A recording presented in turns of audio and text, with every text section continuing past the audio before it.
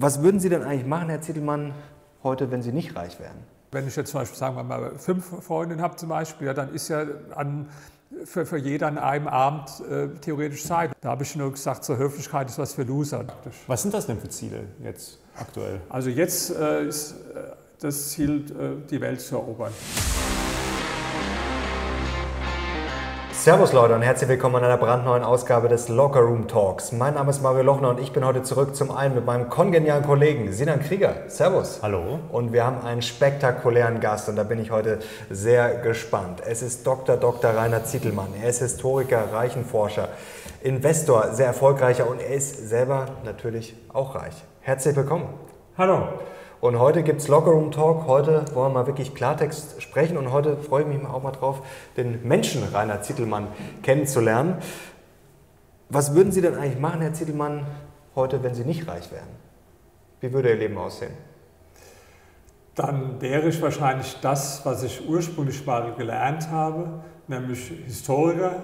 Und dann würde es auch nicht sehr viel anders aussehen, als es jetzt im Moment aussieht. Nämlich dann würde ich Bücher schreiben und meine Forschungen machen ja, und wahrscheinlich auch journalistisch tätig sein. Also es wäre jetzt, äh, außer dass ich nicht so, sagen wir, dass ich anders wohnen würde, dass ich, ähm, dass ich anders reisen würde und so weiter ja, und mehr aufs Geld gucken müsste, wäre es auch jetzt nicht so grundlegend anders, als es im Moment ist. Würden Sie sagen, dass Sie es geschafft haben? Ja, das wäre ja ähm, dann, dann wird es ja heißen, ich könnte mich jetzt begraben praktisch, ja? äh, weil das wird ja heißen, es gibt jetzt keine Ziele mehr. Also es werden bestimmte Ziele gesetzt und die werden dann erreicht, klar, dann kann man sagen, das habe ich geschafft, aber dann kommt das nächste Ziel wieder und dann wird das wieder erreicht. Aber jetzt so ein Endstadium, wo ich sage, ich bin jetzt total zufrieden mit allem, das wäre für mich gleichbedeutend mit, äh, jetzt kann ich sterben praktisch. Was sind das denn für Ziele jetzt aktuell? Also jetzt äh, ist äh, das Ziel, äh, die Welt zu erobern. Also ich denke, das Sehr bescheiden. Aber jetzt nicht natürlich im Sinn wie jetzt Alexander der Große oder Cäsar, sondern in dem Sinn, dass ich sage, mit meinen Botschaften, mit meinen Büchern, mit meinen Artikeln will ich äh, überall auf der Welt Menschen erreichen und das habe ich mir vor ein paar Jahren als Ziel äh, äh, gestellt. Also steht auch so ein Kapitel in meiner Autobiografie, die heißt, wenn du nicht mehr brennst, starte neu. Da steht dann, mhm. nächstes Ziel ist jetzt die Welt erobern. Und äh, natürlich mit so ein bisschen Augenzwinkern dabei, ist klar. Aber auch schon auf der anderen Seite ernst gemeint. Und das habe ich dann umgesetzt. Also sieht konkret so aus, dass ich in diesem und im letzten Jahr in über 30 Ländern war und da überall meine Vorträge gehalten habe, meine Bücher erscheinen und promotet habe und Artikel schreibe und Interviews habe mit Fernseh- und Radiostationen. Aber das ist erst der Anfang. Also, aber da bin ich jetzt auf dem Weg im Moment gerade Welteroberung. Ja. Ich bin gerade erschrocken, denn wir werden heute tatsächlich auch noch über Hitler sprechen, weil Sie sind ja auch äh, sehr erfolgreicher Historiker. Da bin ich gerade kurz beim Welteroberung ein bisschen, bisschen erschrocken. Eine spannende Frage, Herr Zittelmann, die ich vor kurzem gehört habe. Ähm, die kann sich vielleicht auch jeder selber zu Hause mal stellen. Fühlen Sie sich zu etwas hingezogen oder von etwas getrieben? Ja, ich glaube, ich habe so ein bisschen, äh, also hingezogen fühle ich mich zu schönen Frauen erstmal. Da sprechen wir auch das Auf jeden Fall, ja. Getrieben fühle ich mich, ich glaube, ich bin so ein bisschen ein äh, Missionar. Da war mein Artikel in der Neuen Zürcher Zeitung, also gegen mich von so einem linken äh, Philosoph, der hat auf mhm. mich geantwortet. Und er hat gesagt, Zittelmann ist ein Prediger der Freiheit. Das hat er aber jetzt als Beschimpfung gemeint. Mhm. Ja. Aber ich fand das eigentlich ganz gut. Und ja, mein Vater, der war Pfarrer ja, und mein Großvater war auch Pfarrer. Ich bin jetzt kein Pfarrer, aber ich glaube, so ein bisschen was Missionarisches äh, ist schon auch in mir geblieben. Also, dass ich ja, mit der Welteroberung Menschen gerne von Ideen, die ich für richtig halte, überzeuge. Jetzt ist die Welteroberung ja kein kleines Ziel ja. äh, und Sie strahlen ja immer die absolute Power aus. Gibt es denn aber auch Dinge, wovor Sie richtig Angst haben? Ja, äh, Pitbull Terrier. Okay. Jetzt, ja. Wer das gewusst hätte, hätten wir mitgebracht. Ja, also, also sagen wir mal so, ähm, jetzt im Gespräch, ich habe mich jetzt nie Menschen unterlegen gefühlt. Also egal, wen ich jetzt getroffen habe in meinem Leben, auch bei Springer früher, wo ich ein kleiner Angestellter war und hatte also äh, damals auch viele Diskussionen, Stress und war dann beim Vorstandsvorsitzenden einbestellt. Also ich habe mich nie irgendwie jemandem äh, unterlegen gefühlt, in dem Sinn, dass ich Angst hätte. Ja. Aber klar, wenn jetzt eine Gruppe von, von Rockern oder so kommen würde und vielleicht dann noch Pitbull-Terrier äh, dabei, also logisch habe ich dann Angst. Ja. Sie haben gerade beschrieben, Ihre Karriere früher bei Springer, bei Welt dass Sie da aber auch in Ihrer Autobiografie haben Sie jetzt geschrieben, dass Sie eigentlich nie was haben gefallen lassen, beziehungsweise Sie haben eigentlich gemacht, was Sie wollten. Immer, ja. Haben, waren Sie schon als Kind, Jugendlicher so, dass Sie so ein bisschen, ich will nicht sagen Outlaw, aber ja, dass Sie können mich eigentlich, können mich eigentlich alle mal nicht machen, was ich für richtig halte, oder haben Sie sich das wirklich antrainiert? Nee, also ich glaube, das steckt schon in mir drin. Ähm, ich, äh, eigentlich haben meine Eltern aufgehört, Macht über mich zu haben, so im Alter von 12, 13 Jahren ab da habe ich ausschließlich gemacht, was ich wollte. Ja. Also mhm. auch dann, ähm, ja, das war also tatsächlich äh, so, dass ich, äh, ich hatte auch viele Konflikte deswegen natürlich. Ja. Also gerade mit meinem Vater damals äh, sehr viele harte Auseinandersetzungen, weil der hatte auch eine sehr starke äh, Persönlichkeit und sehr autoritär auch in gewisser Weise. Ich hatte das aber auch, ja. Und entsprechend hat es oft, aber hinterher bin ich ganz froh drüber, weil ich glaube, ein Kind, das nicht, das, also wenn mir jemand sagt, ich habe mich immer mit meinen Eltern so gut verstanden, mein Leben lang, auch in der Pubertät, da habe ich so Zweifel, ist es ein Mensch, der sich durchsetzen kann im Leben später. Mhm. Ich bin also jemand, der sich ziemlich gut äh, durchsetzen kann und das führe ich auch darauf zurück, dass ich immer diese Diskussion hatte mit meinem Vater, der also auch rhetorisch sehr, sehr äh, gut war. Ja? Und da musste ich dann musste ich halt auch entsprechend äh, rhetorisch gut sein, um mich dann entsprechend äh, durchsetzen zu können. Ja, also das, äh, mm, das, war schon, das war schon damals so gewesen und in der Schule, da war es so, ich bin also, ich war ja damals sehr links, ich bin von einer Schule geflogen, von der nächsten haben sie mir dann angedroht, auch mich runterzuschmeißen. Ich hatte in Betragen Note, da gab damals, gibt es heute glaube ich gar nicht mehr Note für Betragen. Also das heißt, wie es durch jemand fällt, es ging, normal war die Noten von 1 bis 6, aber im Betragen gab es nur von 1 bis 5. Die meisten Mädchen hatten alle eine 1, die meisten Jungs eine 2, dann gab es manche schlimm, die hatten eine 3, manche noch schlimmer eine 4 und gab einen, der hat eine 5, der war ich gewesen. Also ich war in der Schule auch schon der absolute äh, Rebell. Aber Sie waren links, Sie waren, waren Sie links, weil Sie einfach dann dagegen waren oder wie kam das? Oder weil man als Jugendlicher halt eher links ist? Gut, damals waren viele links, das war so der Auslauf der 68er Bewegung, das war so 1970 ungefähr. Äh, da waren also äh, waren viele links, ich war aber radikal links, ich war Maoist und wenn der Lehrer also den Unterricht nicht so gemacht hat, jetzt im äh, Politikunterricht, wie ich das wollte, dann habe ich den Unterricht halt komplett zerstört, ja, sodass also der Lehrer nur die Möglichkeit hatte, entweder macht er das so, wie ich es jetzt wollte. Oder wie, was haben Sie dann gemacht? Rumgeschrien oder?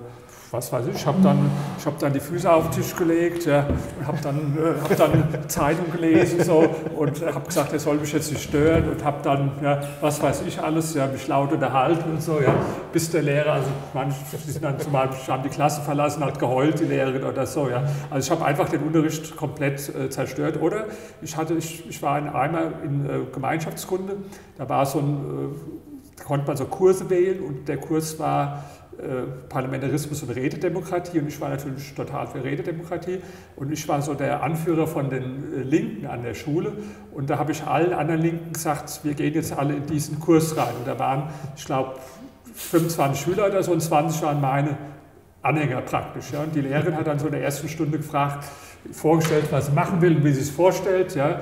Und so ganz demokratisch und gesagt, so Gibt es da Meinung zu, was meint ihr? Da sagen die meisten nichts. Da habe ich mich gemeldet und habe gesagt, nee, ich bin gar nicht einverstanden und wir sollten das nächste halbe Jahr so äh, gestalten. Ja? Mhm. Dann hat die so das gesagt, ja gut, hören wir mal, was die anderen zu sagen. Dann haben sich aber alle anderen 20 nacheinander gemeldet und haben gesagt, wir müssen das so machen wie der Zittelmann. Und die hat dann sofort kapituliert ja, und hat es dann praktisch alles so gemacht, wie ich es wollte. Aber andere, die haben dann gesagt, ich bin der Lehrer, ich lasse mir doch hier nicht von, von irgendeinem marxistischen Schüler äh, bestimmen, was gemacht wird. Und da habe ich dann halt einfach brutal zerstört, den Unterricht, dass der nicht mehr stattfinden konnte. Gab es einen Punkt, wo Sie umgeswitcht sind von links zu liberal? Oder war das so ein schleichender Prozess mit dem ähm, Erfolg? Ähm, das war so, ich war schon sehr früh politisch interessiert. Ich habe mit acht Jahren einen Brief an Willy Brandt geschrieben und auch eine Antwort äh, bekommen damals. Ich habe mit 13 Jahren dann eine maoistische Gruppe gegründet, Rote Zelle hieß die, und eine Zeitung, die hieß Rotes Banner, äh, rausgegeben. Ja. Und habe auch mit 14 Jahren schon Schulungen für Studenten über marxistische Theorie mhm. gegeben, weil ich hatte alles schon in dem Alter gelesen, also hat sehr früh angefangen. Und ich war damals so ein Hardcore äh, Marxist-Leninist, also ich habe alles gelesen, Marx, Engels, Lenin, Stalin, Mao, ich habe zum Beispiel von Stalin die gesammelten Werke gelesen, von, von, von Mao auch, bei Lenin und so alle wichtigen Bücher gelesen. Und dann hat sich das so ein bisschen, äh, sagen wir mal, ich war nur für Politik und nur die Revolution. Also die haben gesagt, der Zinnmann ist die Revolution in Person. Ich bin auch nicht in Diskurs wie andere oder irgendwo, ich hatte auch keine Freundin. Für mich gab es nur morgens früh vor dem Betriebstor stehen und die rote Fahne verkaufen, abends in Sitzungen zu gehen. Ich war damals in der Jugendorganisation von der maoistischen Kleinpartei KPDML und zwischendrin Ausarbeitungen schreiben, in Ferien alles Ausarbeitungen schreiben. Das war mein Leben. Und irgendwann natürlich dann Pubertät und so kommen dann schon auch andere Sachen in einem hoch. Da bin ich da dran ausgeflippt und habe hab dann ein Jahr gehabt, da habe ich nur Haschisch geraucht von morgens mhm. bis abends und wollte auch von Politik und so irgendwo nichts wissen, hatte dann auch die erste Freundin und so. Und dann kam dann ein Freund von mir und hat mir ein Buch in die Hand gedrückt, das hieß Angst im Kapitalismus. Das war so eine Mischung Marxismus, Psychoanalyse. Also so mhm. Marx und Freud, gibt es also Wilhelm Reich, habe ich dann gelesen. Da, da, war ich auch noch Marxist, aber ein bisschen eine softere Form. Sagen wir nicht mehr Stalin Plakat und so dran gehängt, sondern dann Marxismus, Psychoanalyse, Freud, Reich, das war so schon ein bisschen softer. Und dann, so mit Anfang 20 hat es dann angefangen, auch wo ich dann Geschichte studiert habe, wo ich dann promoviert habe, über Hitler war ja die, die Arbeit, ja, da bin ich dann langsam äh, von dem marxistischen Denken, aber schon noch, wo ich mein Buch über Hitler geschrieben habe, meine erste Doktorarbeit, war ich schon noch eher links gewesen zu dem Zeitpunkt, aber da hat sich das dann so Stück für Stück gewandelt. Und das ist ja ein fortgehender Prozess, der geht über Jahrzehnte und er wird auch hoffentlich noch weitergehen. Das ist jetzt nicht so, dass man, heute bin ich links und dann morgen denke ich anders und dann ist es wieder festgeronnen, sondern man lernt immer dazu, man ändert auch Meinungen über bestimmte Dinge. Ja. Können wir also davon ausgehen, dass Sie in 10, 20 Jahren noch libertärer sein werden als jetzt? Also ich weiß nicht, was in 10, 20 Jahren äh, ist, wie da meine Meinungen sind, äh, keine Ahnung, ja, aber ich hoffe, dass ich mich immer, immer dazulerne und äh, weiterentwickle. Natürlich gibt es gewisse Konstanten schon, äh, dann, die auch über die Jahrzehnte äh, gehen, ja, aber äh, es gibt auch immer wieder Neues. Ich lese unglaublich viel und treffe viele Menschen und reise viel und das alles verändert natürlich auch immer wieder die Einstellung und, und das Leben. Gibt es da so ein Buch in letzter Zeit, was Sie empfehlen können, was vielleicht auch mal ähm, eine Meinung von Ihnen geändert hat oder zum Nachdenken angeregt hat? Hm. Da, ich, ich, lese jetzt so viel, dass ich gar nicht, ähm, dass ich gar nicht ein konkretes Buch nennen könnte. Ich weiß, was damals, wo diese Meinungen sich geändert haben, wo sie, mhm. da, das kann, da kann ich sehr konkret sagen. Es war äh, ich hatte das Buch gelesen, Angst im Kapitalismus, und dann hat der gleiche Autor, von dem war ich ein Fan, hat ein Buch geschrieben, Der Mensch ist anders. Und das war auch so eine Kritik am Marxismus. Und es war das erste Mal, dass ich dann auch mal, ja, du kannst auch Marxismus kritisieren und kritisch sehen und anders. Ja. Also ich werde von so viel, es gab jetzt auch nicht so ein Buch, was mich äh, total beeinflusst hat. Ich habe ja tausende Bücher und äh, das kann ich jetzt schwer beantworten. Passt links sein und erfolgreich sein eigentlich irgendwie aus Ihrer Sicht zusammen? Oder anders gesagt, glauben Sie, dass viele Linke, wenn sie erfolgreicher oder vielleicht auch attraktiver oder wie auch immer wären, dass sie dann vielleicht nicht links wären? Ja, in gewisser Weise sind die Linken ja auch erfolgreicher als, als wir, muss man sagen. Also wenn ich jetzt zum Beispiel mal angucke in der Politik, ja, die sitzen da, äh, haben ihre Ministerposten und so weiter ja, oder führen die Parteien, ja, während äh, die Leute denken wie ich, die sind nicht da, also in gewisser Weise. Aber würden Sie das überhaupt wollen? Nee, ich würde es jetzt nicht wollen, aber ich, ich sage mal trotzdem, man kann jetzt nicht generell sagen, dass die nicht erfolgreich sind in dem, was sie tun. Wenn Sie zum Beispiel mal sehen in ARD und ZDF, ja, wo die die ganzen Schaltstellen praktisch besetzt haben mit Leuten, die so denken wie Sie, äh, also das, was die damals propagiert haben, dieser Marsch durch die Institution, äh, dann muss man sagen, dann waren die sogar extrem erfolgreich. Die haben die gesamte öffentliche Meinung geprägt, die sind in den Gewerkschaften tonangebend, in den Kirchen tonangebend, in den Medien tonangebend, äh, sogar bis hinein in die Wirtschaft. Also ich würde sagen, erfolglos sind die jetzt nicht.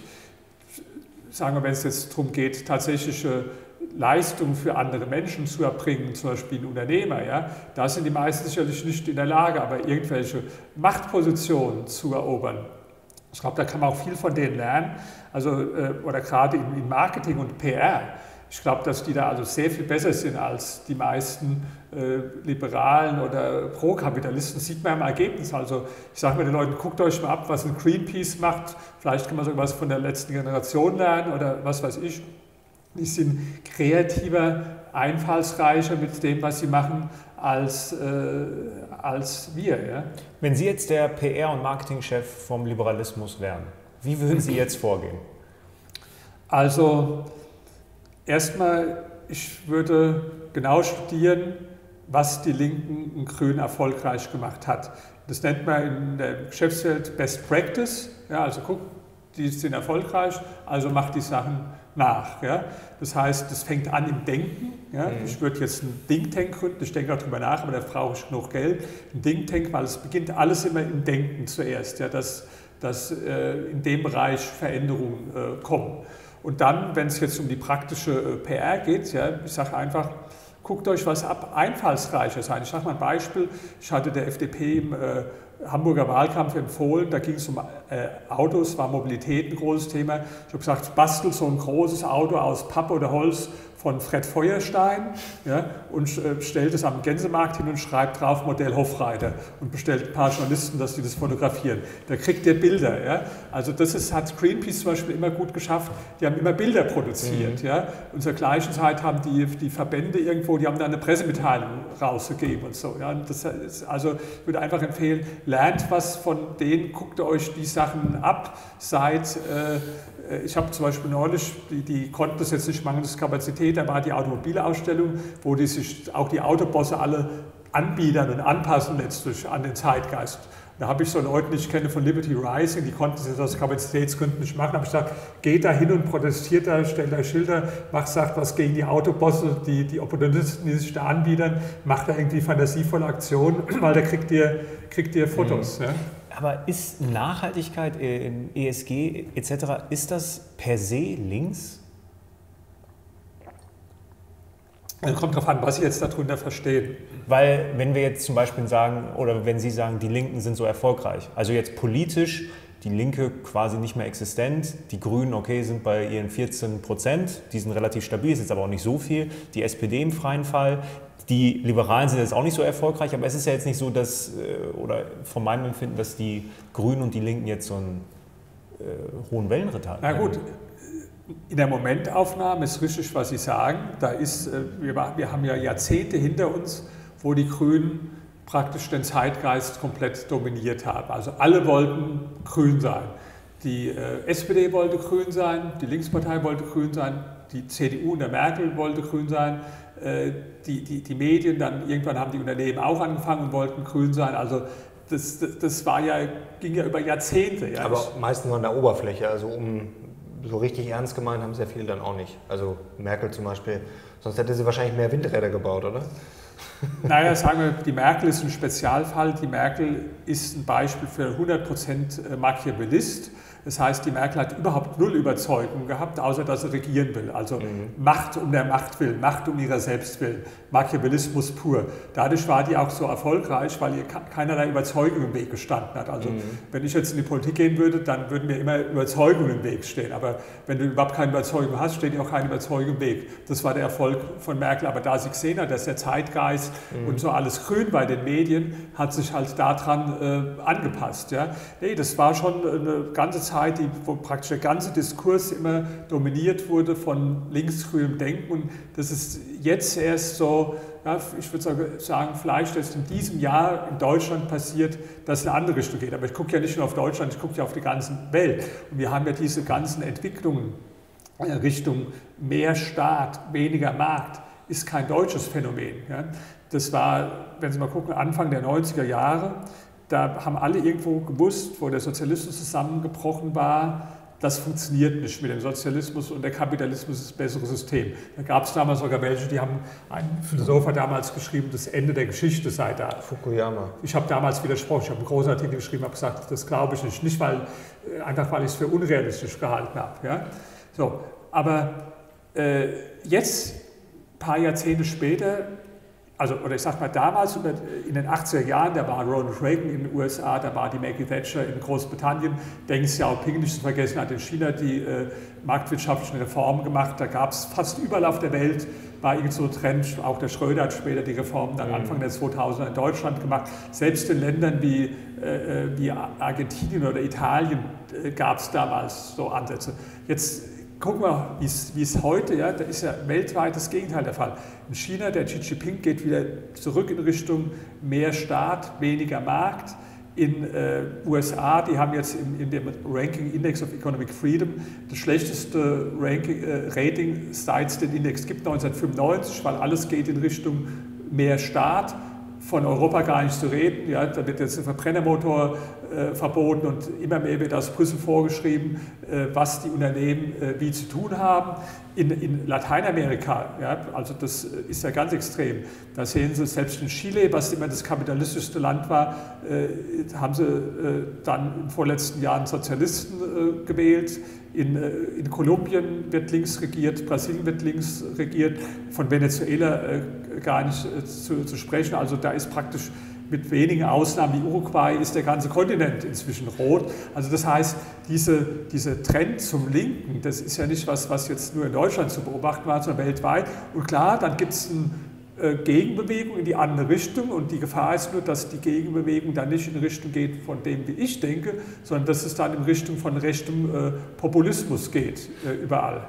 Aber woran liegt das? Also jetzt kann man sagen, okay, es ist der Zeitgeist, aber der Zeitgeist muss ja auch irgendwie entstehen. Also jetzt kann sowas ja entstehen durch Ungleichheit, Unzufriedenheit. Bei uns kann man das ja jetzt eher nicht behaupten. Also uns ging es ja wahrscheinlich zu gut. Viele sagen, ja, Merkel hat eigentlich äh, gar nichts gemacht, weil es lief halt einfach.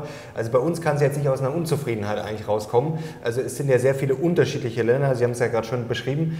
Woher kommt das? Also dass dieses linke ja, wieder aufgelebt also es, es kommt nicht aus objektiven Dingen. Weil ich nehme jetzt mal Chile als Beispiel. Chile ist das mit Abstand erfolgreichste Land in äh, Lateinamerika. Also wenn Sie mal da sind, es ist vieles nicht so wie bei uns in Europa, aber so in die Richtung geht es schon. Wenn Sie danach dann in Argentinien sind oder so, oder in Paraguay war ich, da ist es schon ganz anders. So, die, die waren also wirtschaftlich extrem erfolgreich. Auch die mhm. Ungleichheit, die ist eher gesunken dann in Chile. Ja? Aber die Wahrnehmung war eine ganz andere.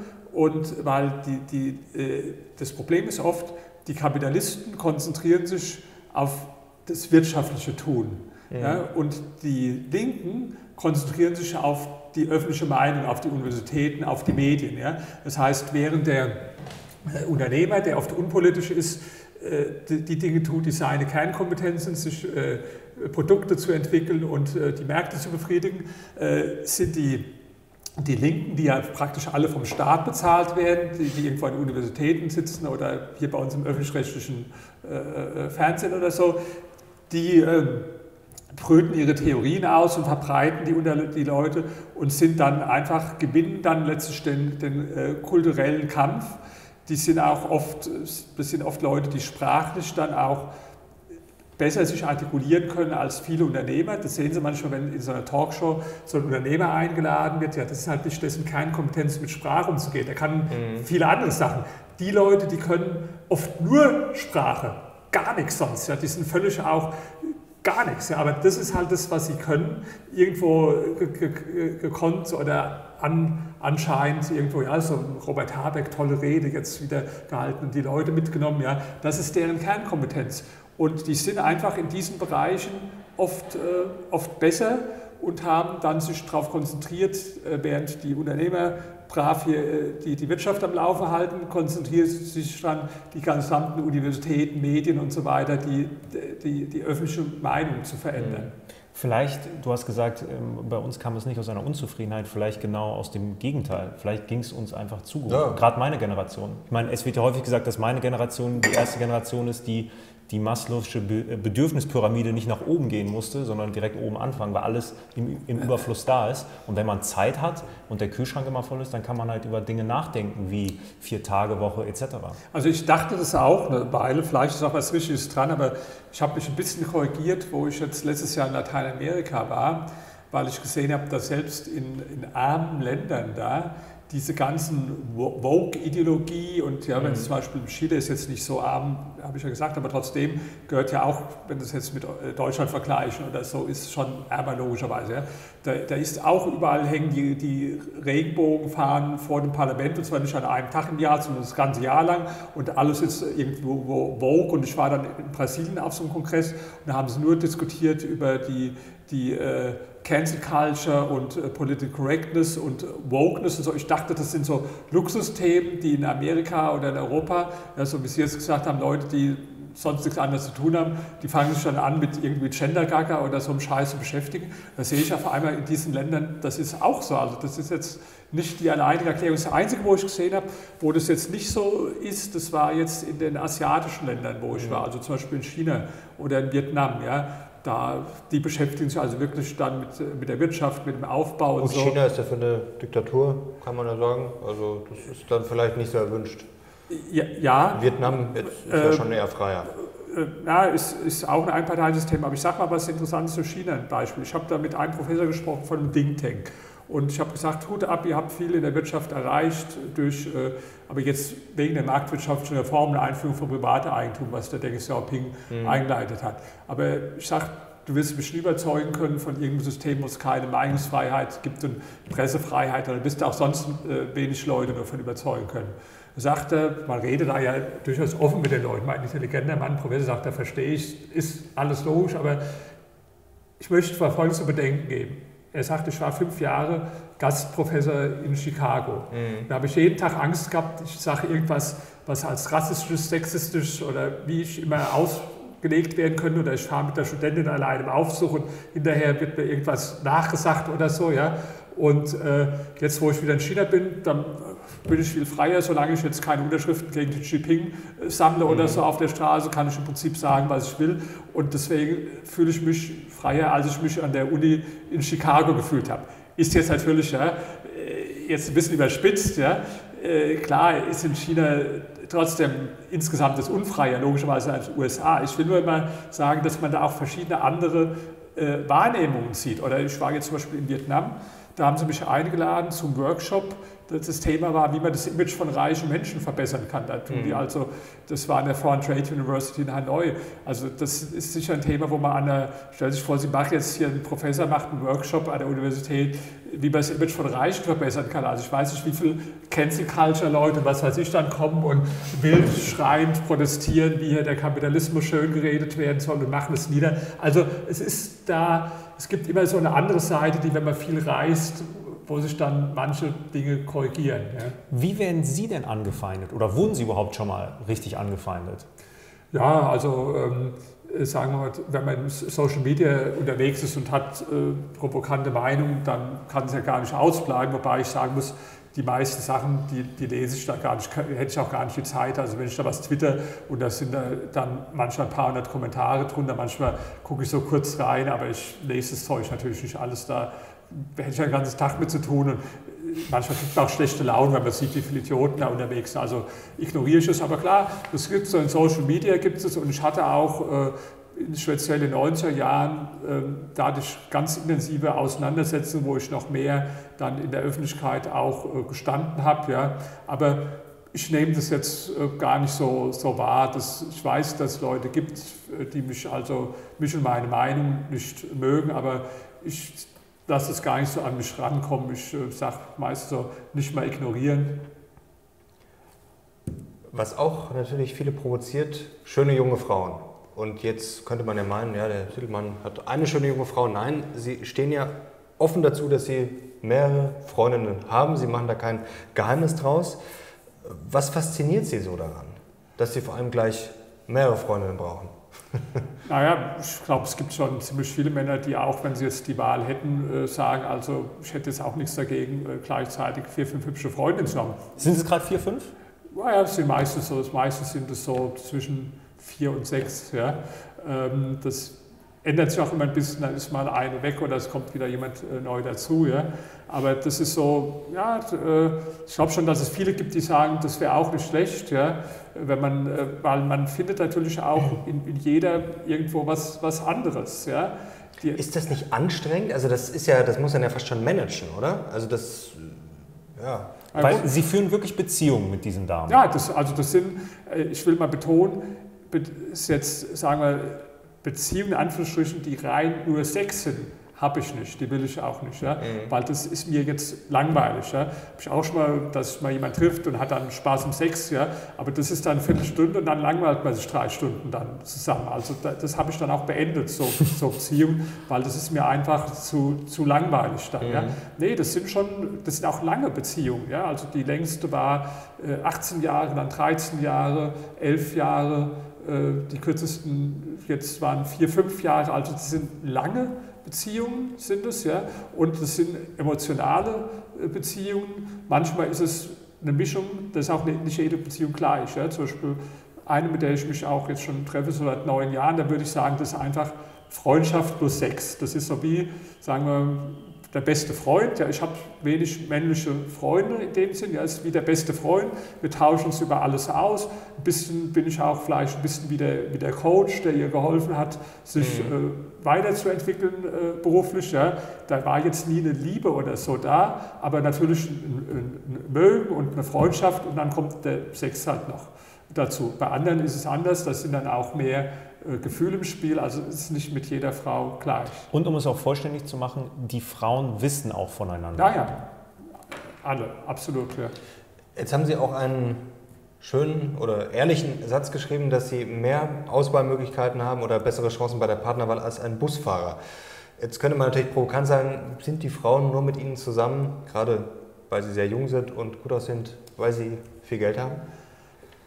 Wenn Sie das Wort nur wegnehmen, äh, und sagen, sind die auch mit Ihnen zusammen, mhm. weil sie erfolgreich sind, auch finanziell erfolgreich, dann würde ich sagen, trifft es sicherlich auch für die meisten zu. Ja?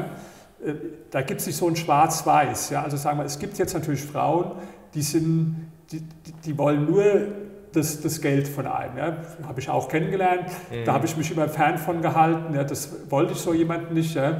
Und ähm, da, da habe ich auch das Gefühl gehabt, die macht es dann arm irgend, irgendwann, wenn das, also ich hatte mal eine kennengelernt, die war aus Hongkong jetzt lange immer bemüht, ja, äh, richtig mit mir zusammen, aber die wollte immer, ich will das Geschenk und das und ich wollte das nicht und das war dann immer ein, ein äh, Konflikt auch, weil ich habe gesagt, ich, ich, will ja nicht arm werden irgendwo dadurch. Also das habe ich auch schon erlebt, da ist es aber nie irgendwo dann zu was Richtigem äh, gekommen aus dem Grund. Ja. Jetzt ist es so, dass es nicht nur schwarz und weiß ist. Ja. Wenn ich jetzt mal ein Gedankenexperiment mache, mein Geld wäre total weg, nicht da. Ja. Und ich könnte jetzt nicht mit denen irgendwo im schönen Hotel im Urlaub fahren, sondern ich würde sagen, komm, wir gehen jetzt in die, in die Jugendherberge oder so. Und, äh, ich würde sagen, wir, wir, fahren jetzt mit der U-Bahn oder so. Also ich glaube, dann wäre es schon für, für manche, bin ich ehrlich zu mir, sagen, nee, das ist so, stelle ich mir jetzt nicht vor. Was ja auch logisch ist. Ich meine, mhm. wenn, wenn jetzt, das ist ja wie Angebot und Nachfrage. Wenn jetzt eine Frau sehr schön ist, ja, und auch sonst, die sind ja nicht nur schön, auch was zu bieten hat. Also ich habe äh, mehrere Freunde, die, die, viele Sprachen sprechen, die, die, haben alle studiert und so, ja, also bis auf eine, ja, haben die alle studiert und so äh, und sind auch äh, beruflich erfolgreich ja, und sehen sehr gut aus, dann hat die ja eine große Auswahl, logischerweise. Ja. Wenn jetzt eine, sagen wir, 150 Kilo wiegt und hat verfaulte Zähne und abstehende Ohren, dann hat die nicht sehr viele Auswahlmöglichkeiten. Wenn die jetzt, sagen wir, 25 äh, ist, sieht äh, top aus und sagt, hat ein sympathisches Wesen, dann kann, dann kriegt, kann ja fast jeden Mann sozusagen äh, kriegen. Ja? Und wenn jetzt versetzt mal rein, du wärst jetzt eine junge, hübsche Frau und hast jetzt die Wahl, da ist einmal der Rainer Zittelmann, der ist erfolgreich, der ist reich, der, der ist, hat viele Bücher geschrieben, der hat auch eine gute Figur, der hat Humor und der ist sympathisch. Und jetzt ist ein anderer, der ist auch sympathisch, der hat auch Humor. Ja. Äh, der ist, ist, auch nicht ganz, der ist auch nicht ganz dumm, aber der ist jetzt Busfahrer zum Beispiel. Ja.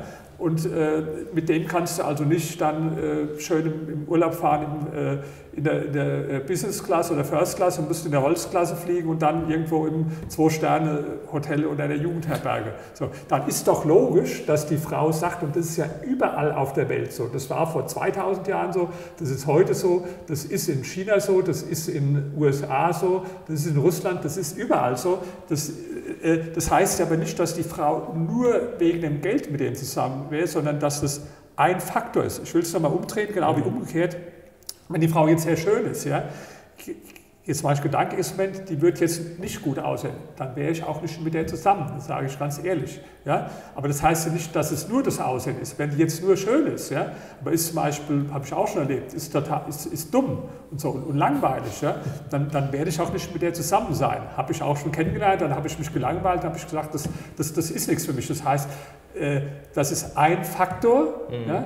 Bei, bei mir das äh, finanzielle, ja, bei den Frauen die Schönheit, aber das ist nicht der einzige Faktor, sondern das ist äh, von, von fünf, sechs Faktoren, die eine Rolle spielen, ist es einer, der auch eine Rolle spielt. Und jeder Mensch gewichtet die Faktoren ja auch anders. Ich glaube, es gibt Frauen, wo der finanzielle Faktor beim Mann vielleicht nicht so wichtig ist wie bei anderen Frauen.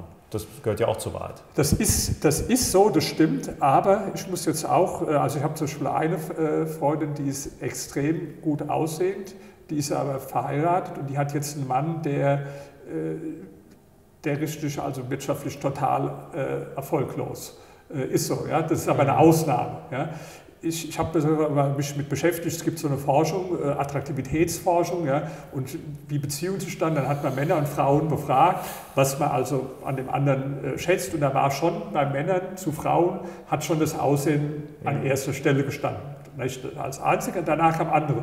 Und den, wenn man die Frauen gefragt hat zu Männern, dann war schon der soziale Status und auch finanzielle Dinge, die haben weit vor dem Aussehen gestanden. Das ist einfach so. Das hat man, das ist also auch tatsächlich, ich habe mal, das war ganz interessant, ich habe mich damit beschäftigt, ich habe mal äh, die führenden, so, es gibt so Schönheits- und Attraktivitätsforscher, also wirklich Professoren, die sich den ganzen Tag nur mit solchen Dingen beschäftigt und habe dann mal so Bücher gelesen, weil mich das äh, interessiert hat, das Thema. Wir sind ja jetzt im Lockerroom und jetzt mal Butter bei den Fische. Wie lernen Sie denn die Frauen kennen? Also das war früher, habe ich immer, Disco hat man damals noch so mhm. gesagt, in der Diskothek halt kennengelernt. Ja. Ich war am Anfang sehr schüchtern ja, und wie die meisten Männer bin ich so rumgestanden und, äh, und habe mich nicht getraut, dann mhm. jemand so, so anzusprechen. Ja. Und ähm, ich weiß noch, einmal, das war so ein Erlebnis, das vergesse ich nicht, da bin ich nach Hause gefahren mit so einem Freund, wir waren immer am Wochenende, Disco hieß es damals noch, mhm. unterwegs. Und er hatte so einen Ford Mustang und da sind wir gefahren und dann sagte er, ach scheiße, heute, heute wieder keine da gewesen, sagt er. Da habe ich gesagt, wie meinst du das jetzt keine da gewesen? Ich meine, da waren ein paar hundert äh, Frauen gewesen. Da kannst du mir nicht sagen, dass dir da keine gefallen hat. Sagt er, ja, doch, aber ähm, äh, ja, ich meine, ich habe heute einen Pickel ja, und da ist sowieso, äh, ja, das, ach, das ist doch scheiße, den sieht man auch gar nicht im, im Dunkeln. Ja, irgendwo, ich, äh, dann sagt er, ja, ich finde auch blöd, warum, warum wir immer die Frauen ansprechen äh, sollen und das könnten aber die Frauen zu uns kommen. Sag ich, hör mal zu, das sind jetzt Regeln, die gibt es jetzt mal ein paar tausend Jahre, die ändern sich nicht heute Abend für uns. Ich sagte immer, warum wir heute niemanden kennengelernt haben. Da gibt es nur einen Grund, weil wir zu blöd sind. Ja, sonst gibt es da keinen Grund. Das heißt, das war auch wieder so eine Frage, suche ich die Schuld bei mir selbst? Erstmal unbequem, ja, aber machen alle erfolgreichen Menschen so? Oder sage ich, das ist der Pickel oder das ist, dass die Frauen mich nicht ansprechen oder irgend so ein, so ein Mist. Und danach habe ich dann, hat dann Freund mal gesagt, was machst du denn mit Disco und so? Das ist doch gar nicht der beste Ort, um Frauen kennenzulernen. Ich, wo, wo denn sonst? Ich konnte mir gar keinen anderen Ort vorstellen. Damals gab es ja auch noch nicht Internet, also Internet mhm. habe ich auch nie jemanden kennengelernt, so, da bin ich ein bisschen altmodisch, jetzt da bin auch nicht auf Tinder oder irgend sowas. Ja. Also das gab es ja auch damals noch gar nicht. Ja. Und dann sagt er, ja wo? Kaufhaus auf der Straße. Da sage ich, wie, wie Kaufhaus, Straße so. Ja, da sagt er, kann ich dir mal zeigen, ich nehme dich ja mit. Da habe ich in Darmstadt gewohnt da habe ich aber gesagt, ja, aber bitte nicht hier in der Stadt, weil ähm, äh, da, das könnte mich jemand beobachten. Ich dachte, das ist vielleicht eine unangenehme Situation. Da hat er gesagt, gut, fahr mal nach Mainz ins Einkaufszentrum. So. Das war nicht so weit, Mainz von Darmstadt. Sind wir nach Mainz gefahren und dann, ich habe mich so trotzdem entfernt gehalten und beobachtet, was der macht. Und er ist dann in die Parfümerieabteilung und hat gesagt, ja, meine Schwester hat äh, Geburtstag und äh, kannst du mir so ein Parfum empfehlen? Er sagte, nee, ich bin ja keine Verkäuferin. Ja, das habe ich auch gesehen, aber du siehst so aus, als ob du gut was verstehst. Da hat die dann ein Gespräch entwickelt, mhm. verwickelt und äh, hat die dann zum Kaffee eingeladen. Ja? Und ich habe mir das so von außen angeguckt. Und war also richtig beeindruckt, wie der praktisch auch auf der Straße hat dann so angesprochen, hat nach der Uhrzeit gefragt oder so, oder nach dem Weg oder so, ja, und hat die dann ins Gespräch verwickelt um zum Kaffee. Und so machen Sie das auch? Nee, so und dann war ja, wie, wie fing das an? Dann, dann bin ich mal zurück und das hat, glaube ich, drei Monate gedauert, bis ich mich getraut habe, mhm. auch mal selbst so. Äh, äh, da war immer in dem Supermarkt, wo ich einkaufe, war an der Ladenkasse eine, also von der habe ich immer geträumt, die fand ich super. Und dann habe ich allen Mut zusammengenommen. Ich dachte, ich kriege jetzt einen, vielleicht einen Herzinfarkt oder ich muss stottern oder ich werde rot. Aber ich habe die dann an der, an der Kasse praktisch angesprochen und eingeladen. Und es hat sogar auch funktioniert. Also mhm. da ist zwar nichts draus geworden, aber immerhin, die war mit mir äh, dann hat sich abends zum, zum Essen verabredet äh, mit mir. Ja. Da habe ich das erste Mal gemacht. Und dann habe ich, ja, dann ich auch angefangen auf der Straße. Ich habe dann mein eigenes, so, so irgend so einen Scheiß zu erzählen, wie die Schwester hat Geburtstag oder so. Ich, ich kann nicht so gut so lügen und so. Ich habe das dann einfach anders gemacht und das ist auch heute noch so, wenn ich jemanden kennenlernen will. Ich habe einfach höflich und respektvoll gefragt, äh, sage, entschuldigen Sie, dass ich Sie einfach so, so anspreche spontan, darf ich Sie mal zum Kaffee einladen. Und meine Erfahrung, wenn man das respektvoll macht, höflich mhm. äh, macht. Ja? Das, mich hat nie jemand bespuckt, mich hat niemand getreten. Ja? Das Schlimmste, was passieren kann, und das ist sehr, sehr selten, dass jemand mal ein bisschen unhöflich, mit einer unhöflichen Stimme antwortet. Die Regel ist folgende. Ja?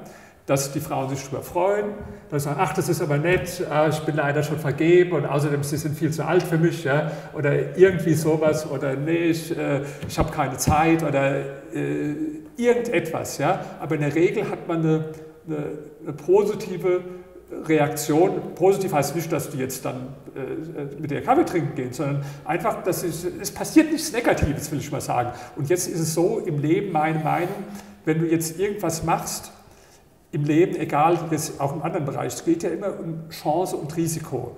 Also wie, wie bei der, jetzt nehme ich mal eine Investition, jetzt nehmen Sie an, mhm. es gibt eine Investition, wo Ihnen jemand sagt, da können Sie 1 Million gewinnen, aber das Verlust ist null.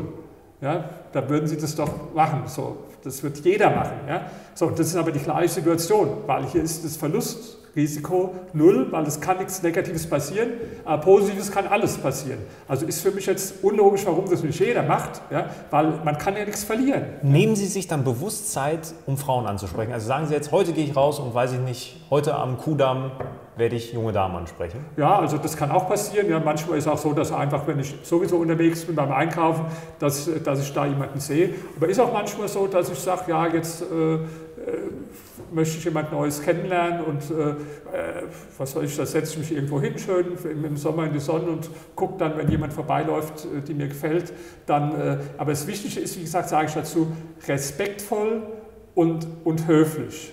Ja? Sie sind ja Verkäufer, Sie haben Versicherungen verkauft, ja. alles gut. Wie ist denn so die Erfolgsquote? Das, die ist so, dass also die aller, allermeisten nichts bei rauskommt in dem Sinn, dass die mhm. sich auch nicht Kaffee trinken gehen oder auch nicht äh, verabreden oder so. Ich habe das jetzt mir nicht, ich habe das keine Liste gemacht, wo ich es aufgeschrieben habe, ja, aber das ist ja auch nicht so. Ich habe ja gesagt, dass ich ganz lang andauernde Beziehungen habe, zwar manche nebeneinander, aber da, ich bin ja keiner, der jetzt laufend neue äh, Frauen als zum Beispiel äh, für irgendwelche One-Night-Stands, da bin ich überhaupt mhm. nicht der Mensch dafür. Das habe ich auch so, so gut wie nie in meinem Leben gemacht, sondern es geht ja tatsächlich darum, jemanden zu kennenlernen, nur dann lohnt sich auch, sagen wir, der ganze Aufwand. Den wird es ja nicht lohnen, wenn Sie am Schluss dann einmal was mit ihr haben, sondern er lohnt sich, wenn Sie dann für Jahre äh, eine Partnerin haben am Schluss. Ja? Und da können Sie dann auch schon eine müssen halt eine hohe Frustrationstoleranz haben, ja, dass sie dann die, das war ja früher in Diskotheken, habe ich das genauso, also dann, oder dass ich dann einfach sage, das kann ich mal zum Trinken ein, einladen. Ja. Wie kann man sich dann so ein Date mit Ihnen vorstellen? Was, was beeindruckt Sie oder was ist für Sie so ein Ausschlusskriterium? Worauf schauen Sie, was fragen Sie? Also wo Sie dann sagen, okay, nach fünf Minuten vielleicht, oh, jetzt äh, habe ich mich vielleicht, die sah vielleicht ganz gut aus, aber da äh, ich, kriege ich gerade einen dringenden Anruf und muss vielleicht schnell weg. Nee, also klar, das, das gibt es immer mal wechselseitig auch, oder dass der irgendwas nicht an mir gefällt. Zum Beispiel, ich bin ja, der, da ehrlich mit um und sage dann, dass ich auch mehrere Freundinnen habe. Das gefällt natürlich dann manchen nicht. Das sagen Sie auch dann am Anfang gleich schon. manchmal nicht gerade beim ersten Treffen unbedingt, ja, aber, Das wäre strategisch wahrscheinlich schlecht. aber, aber sagen wir mal schon dann relativ früh auch, Mhm. ja, weil ich will das Ganze nicht mit irgendeiner, mit irgendeiner Lüge äh, beginnen. Ja. Und natürlich äh, gefällt es manchen, die, es, es gibt ja auch manche, die wollen selbst keine feste Beziehung. Oder Mhm. früher war es so, wo ich jung war, da wollte jede Frau einen festen Freund. Und Heute ist so, dass manche, die, die wollen gar keinen, der sagt, äh, was hast du gestern gemacht und kontrolliert werden und Eifersucht sehen, sondern die sind froh, wenn sie jemanden haben, mit dem sie sich treffen können, äh, aber die, die, die wollen gar nicht unbedingt eine, eine feste Beziehung. Und andere, die wollen das, sicher, ja. Das ist auch nicht so einfach. Das gab schon auch dann Konflikte, wo dann auch, also eine, wo das auch schon seit vielen Jahren geht, die, die gerne auch heiraten und fest zusammen sein äh, würde, wo es bisher nicht dazu gekommen ist. Also das ist auch so, klar. Und das kann auch sein, dass es jemand, also das ist erstmal so, dass ja auch, äh, oder denen fällt irgendwas an, an, an mir nicht oder so. Ja, das ist ja, und umgekehrt, ja, also klar, wenn jemand äh, langweilig ist oder so, oder, ja, das ist das, ich will mich halt nicht langweilen, wenn ich das Gefühl habe, das ist, das, das, das, ich hatte zum Beispiel einmal eine kennengelernt, die war also sehr, sehr gut aussehend, ja, auch im Sex hat mir sehr gut gefallen, aber die war, die war irgendwo Arzthelferin und die hat mir dem erzählt, ja, und heute war dann der Patient und die Kollegin, die war schlecht drauf und was weiß ich. Und das, das, das hat mich letztlich nicht interessiert, was die erzählt hat. Ja. Und ich habe gemerkt, die Sachen, die ich erzählt habe, die hat ihr auch nicht interessiert. Die hat zwar aus Höflichkeit dann hat nachgefragt, aber die, die, wenn ich dann eine, eine, eine Talkshow angestellt habe über Politik oder so, dann, äh, dann das fand die langweilig, das äh, wollte nicht mit mir gucken oder so, weil die sich halt nicht dafür interessiert hat. Und das, das passt dann einfach nicht, wenn die Interessen also zu stark äh, auseinandergehen. Ja. Jetzt lebe ich persönlich monogam, ich glaube du auch. Äh, Ich bin super happy mit meiner Freundin. Jetzt, wenn Sie sechs Freundinnen haben in Ihrer Heavy Rotation, ist das nicht super anstrengend, das alles zu managen? Also wie machen Sie das? Wie, wie meinen Sie das jetzt? Ja, dass man das zeitlich irgendwie alles hinbekommt, weil mit der Aufmerksamkeit, also Allein schon WhatsApp, also Kommunikation, ja, das, das ist Gut, ja ich meine, die, sagen wir so, die, die, die Woche hat ja sieben Tage. Ja? Und äh, wenn ich jetzt zum Beispiel, sagen wir mal, fünf Freundinnen habe zum Beispiel, ja, dann ist ja an, für, für jeder an einem Abend äh, theoretisch Zeit. Und mei- meistens treffe ich mich auch so einmal in der Woche, manchmal auch äh, öfters mit jemand, manchmal auch mal zwei Wochen nicht oder so. so Im Prinzip äh, passe schon und ich äh, habe dann auch die Begabung, das sind ja sehr unterschiedliche Menschen, dass ich mich dann auch auf die einstelle. Das ist natürlich, da muss man auch dann auch die, die Begabung haben, sich dann auf ganz unterschiedliche, aber ich finde es auch als Bereicherung, weil, weil jedes wieder anders einfach auch in, in ihrer Persönlichkeit, in ihrem äh, Charakter, auch im, im Sex natürlich, ja, ist jede auch wieder anders in der, in der Art. Herr Zittelmann, wissen Sie, was mir für eine Frage eingefallen ist? Wie feiern Sie Weihnachten? Sind dann alle Freundinnen da? Sind Sie alleine? Wie, wie, feiern Ja, Sie das, Weihnachten? das, äh, das ist tatsächlich, also ich sage mal, diese Weihnachten äh, fahre ich äh, zu meinen Eltern, da habe ich auch schon manchmal dann eine Freundin äh, Mhm. mitgenommen, äh, aber manchmal auch halt nicht. Ja. Und dann an den anderen Weihnachtstagen, ja, dann wird es halt aufgeteilt. Der erste Weihnachtsfeiertag, der zweite Weihnachtsfeiertag und äh, danach, das ist also nicht mit äh, zusammen. Am Geburtstag ist schon so, dass da auch dann so ein Tisch ist, wo dann mehrere Freundinnen zusammen sind an, an meinem Tisch. Aber jetzt an Weihnachten nicht, da ist dann schon, wird es dann aufgeteilt auf die, auf die Tage. haben Sie niemals darüber nachgedacht, wie das wäre, irgendwie das klassische Familienbild zu haben? Eine Frau, Kinder. Ja, ich würde es nicht ausschließen. Ich meine, ich habe ja, noch, ich habe ja noch Zeit. Ich bin jetzt 66 und da die Freundinnen ja meistens so, also die sind vom Alter her so zwischen Anfang 20 und äh, Ende 30 so, ja. Die, die meisten sind eher so, was weiß ich, um die 26, 27 äh, rum in dem Schnitt, ja.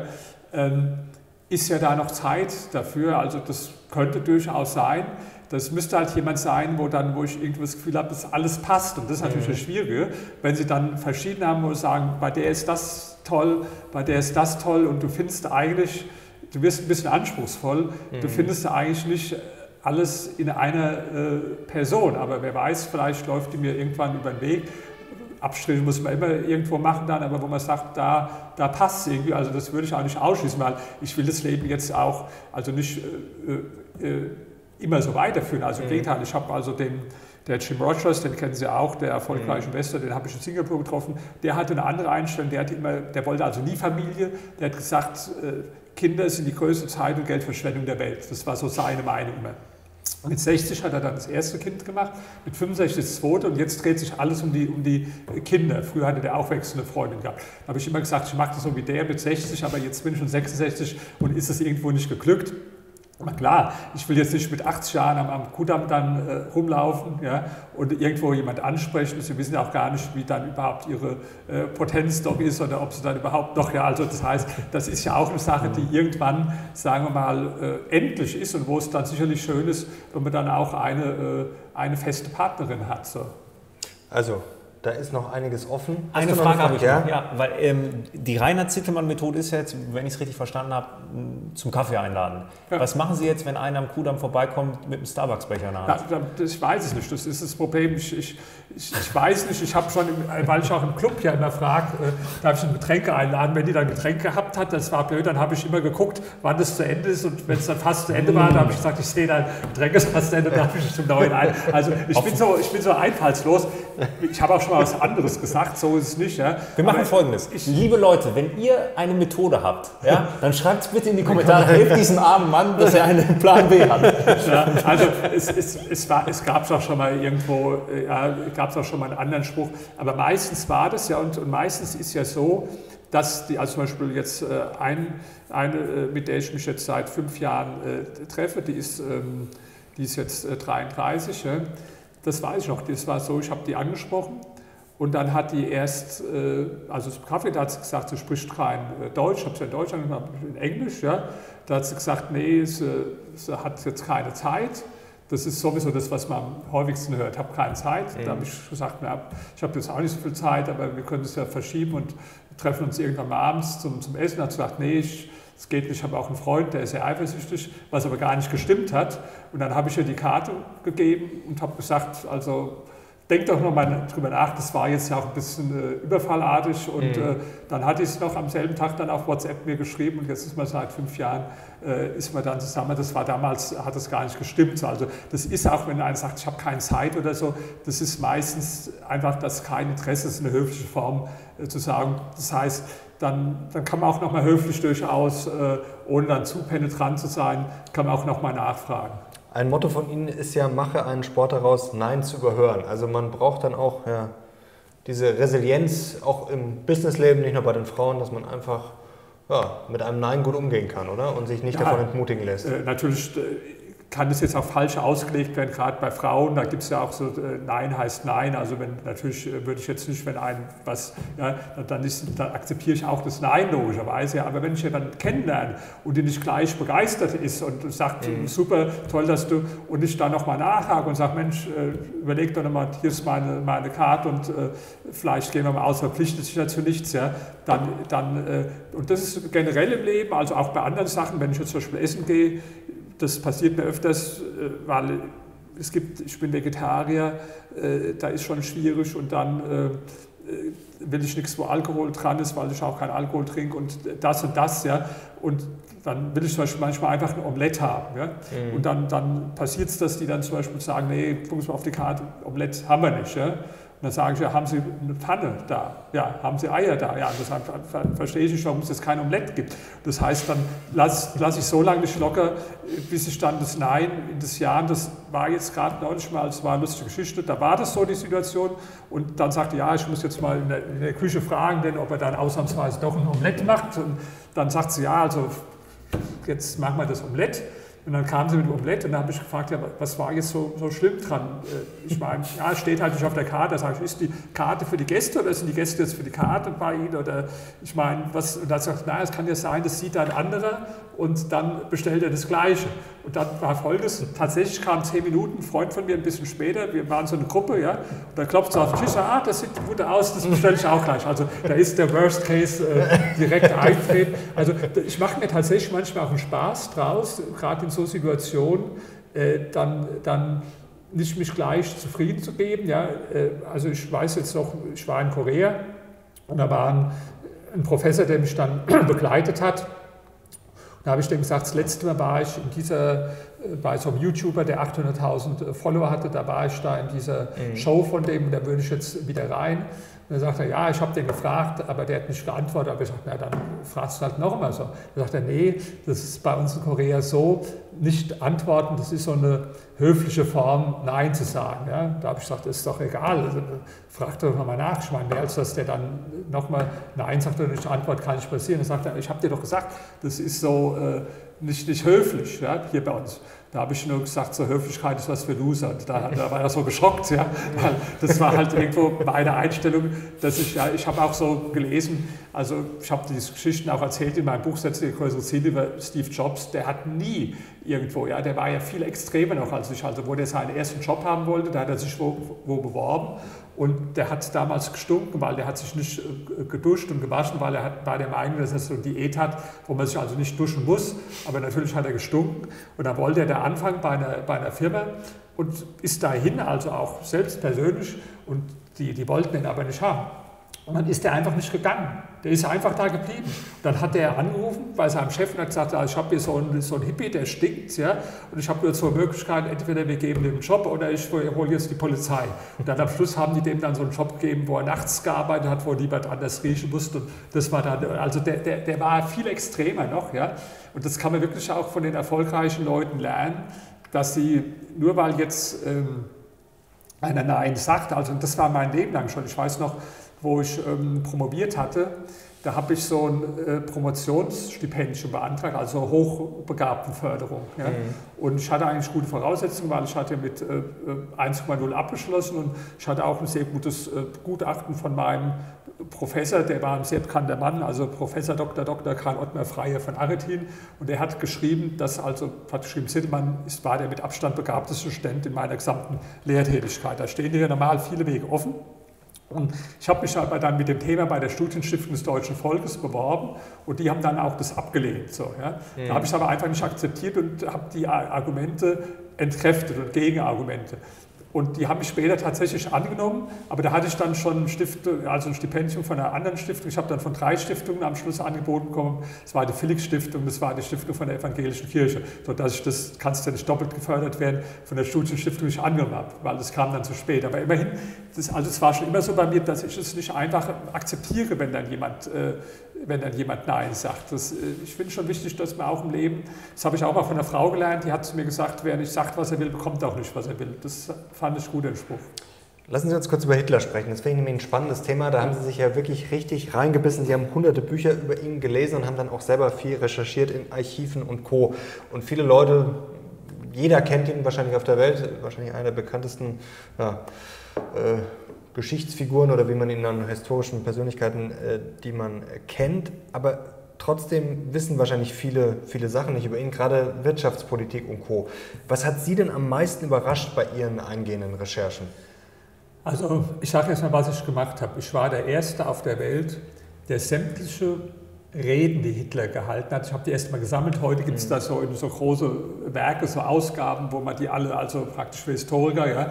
Damals musste ich in die ganzen Archive mit so Mikrofilmen äh, und so weiter, mussten wir dann da Kopien ziehen aus dem völkischen Beobachter oder mhm. von irgendwelchen äh, Transkription von stenografischen Mitschriften, also es war erstmal eine ziemliche Arbeit, die ganzen Reden. Dann der Hitler zwei Bücher geschrieben, also Mein Kampf und noch ein anderes Buch, was aber nie veröffentlicht wurde. Dann hat er auch manche so äh, Aufsätze und so geschrieben. Dann gibt es auch in Tagebücher von anderen Leuten Überlieferungen, was er gesagt hat, zum Beispiel Goebbels hat Tagebuch geschrieben, jeden Tag, da gibt es diese Überlieferungen. Dann gibt es Aufzeichnungen, der hat abends immer so Monologe geführt, das hieß so Monologe für Hauptquartier. Also da hat dann einer so, so mhm. mitgeschrieben, da hat er sich über Gott und die Welt geäußert. Und diese Sachen habe ich alle gesammelt, was erstmal eine unglaubliche Arbeit war und habe es dann ausgewertet und versucht zu rekonstruieren, äh, das Denken von Hitler in verschiedenen Gebieten, speziell aber auch Wirtschafts- und Sozialpolitik, ja, um zu verstehen, wie jemand, der für so große Verbrechen verantwortlich, also den Krieg begonnen hat, äh, sechs Millionen äh, Juden äh, umbringen lassen hat und so weiter. Wie konnte so ein Mensch für breite Massen in Deutschland und auch für intelligente Menschen ja, mit seiner Ideologie so attraktiv sein? Und war dann schon ein Ergebnis, dass, der, dass die sozialen Versprechungen von ihm und das antikapitalistische sehr viel stärker waren, als es normalerweise äh, wahrgenommen wird. Ja? Und das hat es für mich, ich war ja wie gesagt damals noch eher links eingestellt, ja, hat es mir ermöglicht, eher das zu verstehen, weil das ja für jeden Menschen, sagen wir mal, speziell in Deutschland schon eine Frage, auch zu verstehen, wie konnte das passieren. Ja? Und da haben die Deutschen halt nach dem Krieg oft auch das verdrängt. Die haben dann gesagt, ja, wir waren ja eigentlich irgendwo äh, dagegen und es war dann die Diktatur. Da haben dann gesagt, der hatte irgendwo eine, eine magische Ausstrahlung oder äh, magische Augen und äh, diese Reden und so. Nee, das, das, äh, das irgendwie versucht zu mystifizieren. Und ich habe gesagt, nee, das waren diese sozialen Versprechungen im Prinzip, also die er gemacht hat. Ja?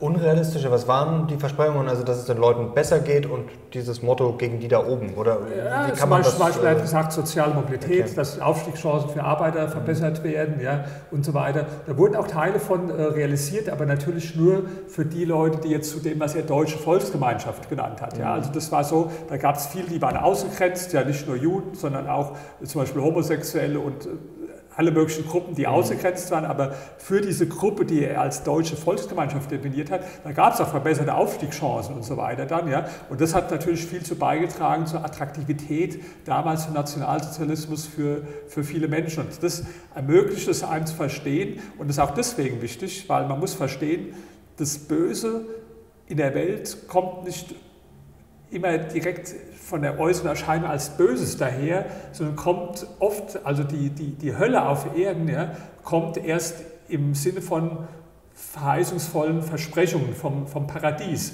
Das war ja auch beim Marxismus so. Ja? Ich meine, unter Stalin sind auch, oder Mao, Abermillionen Menschen äh, umgebracht worden. Ja? Aber das war ja nicht, äh, wie die angetreten sind. Die sind ja angetreten, wir wollen die klassenlose Gesellschaft, wir wollen soziale Ungerechtigkeit äh, beseitigen. Also bei den Marxisten jetzt auch was, was Gutes oder was von vielen Menschen als gut angesehen wurde. Und so war es auch bei Hitler dieses Versprechen, was er Volksgemeinschaft äh, genannt hat, ja, dass nicht mehr Standesdünkel und so bestimmen soll, dass äh, Arbeiter mehr Aufstiegschancen. Das war das Versprechen. Und hinterher hat es geendet, alles in der, in der Hölle, ja, im Krieg, in äh, Vernichtungslagern ja, und bei, im Kommunismus auch. Und das ist auch eine Lehre dann aus der Geschichte, ja, dass man sagt, ähm, allein, wenn Menschen jetzt äh, Dinge, die, die vermeintlich erstmal gut klingen oder wir wollen eine, bessere Gesellschaft oder so, dass das auch dann eine gewisse Dynamik entwickeln kann und äh, dann am Ende in totalitären äh, endet. Und das ist halt bei vielen Utopien so in der Geschichte, ja, dass die am Schluss erst den Menschen Himmel äh, auf Erden versprochen haben und am Schluss haben sie dann das, die, die Hölle auf Erden geliefert. Und da kann man insofern schon auch was aus der Geschichte lernen. Ja. Machen Sie sich da gerade Sorgen? Denn viele sagen ja, sie fühlen sich erinnert an die Zeit vor dem Ersten Weltkrieg, vor dem Zweiten Weltkrieg. Wir haben ja auch momentan viele Versprechungen, es wird viel kritisiert, es ja, wird auf Reiche geschimpft, es geht angeblich die Schere immer weiter auseinander, man müsse was tun. Ähm, dann haben wir auch ja, Trump und Co. Viel wird auf die Eliten geschimpft, auch natürlich bei uns. Wir haben eine immer stärkere AfD. Also machen Sie sich da Sorgen? Ist da viel im Umbruch und könnte sowas ja wieder in die falsche Richtung gehen? Oder vielleicht schärfer ausgedrückt, könnte es bald wieder schiefgehen? Ja, also die Geschichte wiederholt sich jetzt nicht äh, in der gleichen Form. Also wer jetzt guckt, kommt da wieder einer mit dem Schnauzbart, der so tobt wie der Hitler äh, und darauf, das, das, nee, das, es nimmt immer wieder eine andere Gestalt an. Ja, aber natürlich mache ich mir Sorgen. Ähm, das ist ja so, wer hätte damals in Deutschland gedacht, ein zivilisiertes Land, das Land von der Dichter und Denker, das Land von Goethe, ja, dass so eine Barbarei passieren kann. Das hätte doch äh, keiner eigentlich für möglich gehalten, Anfang der 30er Jahre. Mhm. Ja. Und ähm, das ist oft so. Also ich war jetzt in Amerika auf einer äh, Konferenz des Open Students for Liberty und da war eine, die war aus Venezuela geflüchtet und die hat gesagt, seid euch nicht so sicher, dass in den USA euch nicht so was passieren kann, weil sie kommt aus dem Land Venezuela, muss man wissen, war 1970 eines der 20 reichsten Länder der Welt. Wohlstand, Demokratie, Pressefreiheit, Versammlungsfreiheit, das ist in wenigen Jahren von den Sozialisten runtergewirtschaftet worden. Das sind jetzt 25 Prozent der Bevölkerung, 7,5 Millionen Menschen geflüchtet aus Venezuela. Der Rest ist in, in, Armut. Die Demokratie wurde abgeschafft äh, zwischendrin. Ja. Und das war ein Land, was ja was, was äh, ein paar Jahrzehnte vorher noch, äh, wo sich das keiner hat vorstellen können. Und deswegen, ähm, das ist so der Unterschied, wenn man vielleicht Historiker ist, so wie ich, und die ganze Geschichte sieht und sieht, was dann immer äh, passiert ist und möglich ist, dann, dann glaubt man nicht so, wir haben vorhin das besprochen, wo dann diese Theorie war, das Ende der Geschichte, ja, also dass dann der ewige Frieden ausbricht und äh, überall nur Wohlstand und Glück. Nee, das, äh, auch die, die Demokratie und die, der Kapitalismus sind noch nicht so alt. Das sind vielleicht 250 Jahre, dass es mehr oder minder herrscht von einer Jahrtausende alten Geschichte, wo äh, also ganz anders war. Und es gibt keine Garantie, äh, dass das so erhalten wird, weil erstens die Menschen gewöhnen sich dann dran, sie nehmen Freiheit auch irgendwo als gegeben oder als selbstverständlich hin nach einer gewissen Zeit. Manche verstehen auch nicht, was die äh, Wurzeln eigentlich unseres Lebensstandards äh, äh, sind, ja, dass das Gerät dann einfach in Vergessenheit. Also die Sorgen mache ich mir schon, jetzt nicht in dem Sinn, dass es mich jetzt total runterzieht und ich da äh, äh panisch ängstlich bin, aber in dem Sinn, dass ich sage, ich fühle mich verpflichtet, auch im Rahmen meiner Möglichkeiten äh, einen Beitrag zu leisten, in dem Rahmen, wie ich es kann, mit meinen Büchern, mit meinen, äh, mit meinen Artikeln. Ja. Ich habe jetzt gerade zum Beispiel, das wird jetzt äh, veröffentlicht, ähm, was mich natürlich schockiert hat, wie viele jetzt diese äh, nach, nach den ähm, nach dem äh, barbarischen da Morden von der äh, Hamas, wo 1400 äh, Menschen in, in Israel bestialisch ermordet wurden und wo dann hier zum Teil Leute gab, die das gefeiert haben haben. Ja? Also eigentlich das Video, was mich am meisten geschockt hat, waren nicht die Leute, die jetzt laut geschrien haben und da gab es auch welche, die haben gesagt, wir brauchen neuen Adolf Hitler oder so von denen. Mich hat ein Video geschockt. Das war eine Frau, die wurde im Fernsehen interviewt, die hat einen sehr sympathischen Eindruck gemacht. Die hat ein Kopftuch gehabt, aber die hat ein nettes Lächeln gehabt, die hat nicht rumgeschrien, die hat ruhig gesprochen. Und der Reporter fragt sie ja, was sagen Sie jetzt zu den Sachen, die da passiert sind? Er sagte, ja, also ich habe mich auch äh, gefreut, also dass denen das gelungen ist und äh, natürlich, äh, also wir haben auch gefeiert zu Hause, aber die hat es jetzt in einer Selbstverständlichkeit gesagt, dass sie sich mhm. über diese Terrorakte gefreut hat und dass sie das gefeiert haben, wo ich gesehen habe, die hat offenbar ein Umfeld, wo so eine Meinung so stark selbstverständlich und akzeptiert wird, dass die jetzt gar keine Hemmung hat, die hat gar nicht versucht, irgendwo, die hat das auch in einer netten, mit einem netten Lächeln vorgetragen, so eine barbarische Sache zu sagen, wir haben das gefeiert, ja, wo 1400 Menschen um, äh, bestialisch umgebracht wurden. Und das hat mich schon geschockt. Ja. Und dann habe ich jetzt äh, gerade was geschrieben zu dem Thema und habe mir nochmal Zitate vorgenommen von linken Intellektuellen, die oft äh, barbarische Gewalt gerechtfertigt haben. Und da ist mir ein Zitat gekommen äh, veröffentlicht jetzt in, in, in, äh, der ist jetzt veröffentlicht in Focus gerade von Jean-Paul Sartre, der damals der führende linke Intellektuelle war, sicherlich. Und der hat nach dem Attentat vom äh, ähm, 1972 in, in, München, da gab es doch bei den Olympischen Spielen mhm. gab es ein Attentat von, von der palästinensischen Terrorgruppe, die Schwarzer September, und da sind elf Sportler damals umgebracht mhm. worden. Und da hat er vier Wochen danach in so einer maoistischen Zeitung einen Artikel geschrieben, wo er, wo er das gerechtfertigt hat und hat gesagt, ja, das ist äh, äh, Terror, aber das ist halt die einzige Mittel, den die in ihrem Befreiungskampf haben. Also hat das, äh, der hieß nach München. Und das, das sind die Sachen, die mich immer wieder schockieren, dass, ähm, dass auch Intellektuelle und äh, kluge Leute, ja, dass die immer wieder auch verführbar sind. Und gerade bei Intellektuellen findet man also viele Beispiele, die äh, in meiner Jugend war das ja auch so, wo ich äh, 13, 14 war, aber gut, da kann man sagen, da war ich auch sehr jung, aber dass auch erwachsene, gebildete, intelligente Menschen, ja, damals, äh, dass die, äh, Sartre ist ein Beispiel, der auch Stalin gehuldigt hat, Mao gehuldigt hat, Che Guevara gehuldigt hat. Und da gab es äh, viele gerade von führenden französischen Intellektuellen und die gibt es bis heute auch. Ja. Ich habe neulich auch gerade was darüber geschrieben, zum Beispiel so äh, ein slowenischer Philosoph, der sehr bekannt ist, äh, Cicek, ja, der hat jetzt ein Buch äh, äh geschrieben, auch, äh, wo er fordert, wir müssen wieder stärker kommunistisch denken. Er, er sagt, er nimmt als Vorbild Mao Zedongs großen Sprung nach vorne Jetzt wissen viele nicht, was es ist. Also wer das nicht weiß, dem empfehle ich mein Buch Kapitalismus ist nicht das Problem, sondern die Lösung. Da ist es im ersten Kapitel äh, ausführlich beschrieben. Das war das größte sozialistische Experiment der Menschheitsgeschichte.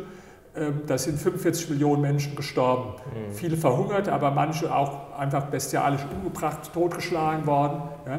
So, äh, und das hat der jetzt als positives Beispiel benannt. Ist eigentlich erschreckend. Aber was auch erschreckend war, ich habe dann mal gegoogelt, da gibt es ein Foto von dem, das war in der ähm, New York Book Review und da hat er sich in seinem Schlafzimmer ablichten lassen und über seinem Bett hängt ein Bild von Stalin. Ja? Und der hat jetzt äh, die Eröffnungsrede zur Buchmesse in Frankfurt ja, stimmt, gehalten, ja. zum Beispiel. Jetzt sieht man, um abschließend allen Menschen die Hand zu reichen. Was ist die linkeste Position, die Sie vertreten? Ähm, da müssen Sie jetzt äh, definieren, was Sie unter links verstehen erstmal, damit ich sehen kann, ob es überhaupt so etwas gibt in meinem Denken. So, ja. das, das dürfen Sie gerne selbst definieren. Ja, da für mich links gleichbedeutend ist mit Gleichheit statt Freiheit, hoffe ich, dass es in meinem Denken nichts Linkes gibt. So. Ja, das Einzige, was ich Außer vor dem Gesetz, dass alle gleich sind. Ja, gut, äh, das ist aber kein äh, linkes Denken, das ist ein liberales Denken. Ähm, nee, was ich an den Linken, sagen wir mal, bewundere, ist nicht die Inhalte, da finde ich wirklich gar nichts. Aber die Art, ihr Marketing, ihre PR, wie sie was das verkaufen, ja, da sind sie für mich nach wie vor absolutes Vorbild. Ja? Und ich meine, jetzt überlegen Sie mal Folgendes. Da gibt es eine Ideologie, der Sozialismus, die ist immer gescheitert in den letzten 100 Jahren. Es gibt keine einzige Ausnahme, egal wie die es probiert haben. In China, in äh, Russland, in Kuba, in Nordkorea, in Jugoslawien, in Albanien. Also überall auf eine andere Art probiert und überall gescheitert. Dabei über 100 Millionen Menschen umgekommen. Gilt trotzdem Sozialismus als zumindest von der Idee human. Ja? Dann gibt es was anderes, Kapitalismus, was dazu geführt hat, dass die Quote der Menschen, die in extremer Armut leben, von 1820 bis heute, also in 200 Jahren, von 90 auf 109 Prozent gesunken sind.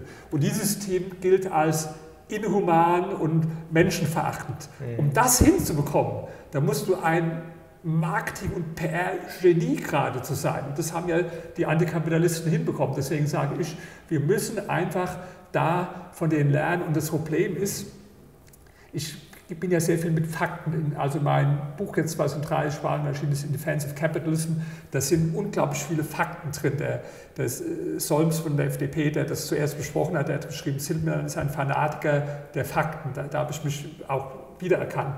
Das Problem ist, dass, dass sie mit Fakten die Menschen oft nicht so stark erreichen. Ich sage jetzt, einer erlebt das, was ich hatte vor ein paar Monaten, da war ich mit einer Freundin von mir in... Ähm, Griechenland, um auch um ein Buch vorzustellen. Da war kurz davor ein Zug und Glück. Bei dem Zug und Glück sind über 50 Menschen umgekommen. Und natürlich war auch da der Kapitalismus schuld, also wie immer logisch. Deswegen waren da so Massendemonstrationen von äh, Kommunisten, auch mit roten Fahnen und so. Und äh, ich konnte die äh, gegen den Kapitalismus, der also wieder 50 Menschen mehr aufgewiesen hat wegen dem Zugunglück. Und ich war im Hotel und habe dann da das beobachtet, weil das Hotel war direkt neben dem Parlamentsgebäude und die Demonstration war vor dem Parlament. Und ich habe gesehen, die haben die meiste Zeit oder die Hälfte der Zeit haben die Lieder gesungen. Auch aus den Lautsprechern waren Lieder, sehr schöne Lieder. Ich habe die nicht verstanden, weil ich jetzt kein Griechisch kann, aber so, die das Herz berühren, emotionale Lieder. Und dann habe ich zu meiner Freundin gesagt, guck mal da runter, ähm, hier siehst du das Problem. Ich habe die Fakten und die haben die Lieder und die haben die Emotionen. Und was glaubst du jetzt, äh, wovon Menschen stärker ergriffen werden? Wenn ich sage, das GDP per Capita hat sich verdreifacht in äh, Polen in den letzten drei Jahrzehnten, oder die, die singen da ihre, ihre Lieder von, von der Gesellschaft der äh, gleichen und äh, freien Menschen. Das ist so ein, ein bisschen das Problem. Also Sie sehen daran, ich bewundere die Linken, nicht in allem, aber in vielen, wenn es um Marketing und PR geht, da kann man alles von denen kopieren, weil die alles richtig gemacht hat, aber bei den Inhalten kann ich nichts entdecken, wo ich mich jetzt als links äh, sehen würde. Herr Zietelmann, herzlichen Dank, das hat großen Spaß gemacht. Danke natürlich auch dir, Sinan, und danke euch fürs Zuschauen. Ich hoffe, euch hat es gefallen und unbedingt Kanal abonnieren, um nichts mehr zu verpassen. Und wenn es euch gefallen hat, gerne Daumen hoch. Danke euch, meine Herren, danke euch. Wir sind jetzt raus. Bis zum nächsten Mal. Ciao. Dankeschön.